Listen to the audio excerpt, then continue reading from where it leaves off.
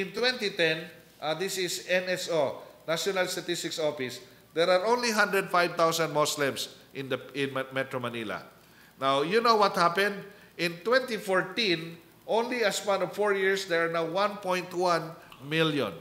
In other words, 1 million migration to Metro Manila in a span of four years. So today it is believed that there, are, there could be 2 million Muslims now in Metro Manila. You fly from any part of Mindanao to Manila, you will be amazed. About half of the, of the passengers are Muslims. So they have migrated here. So again, we don't have to go to go to Mindanao to reach out to them. They are here.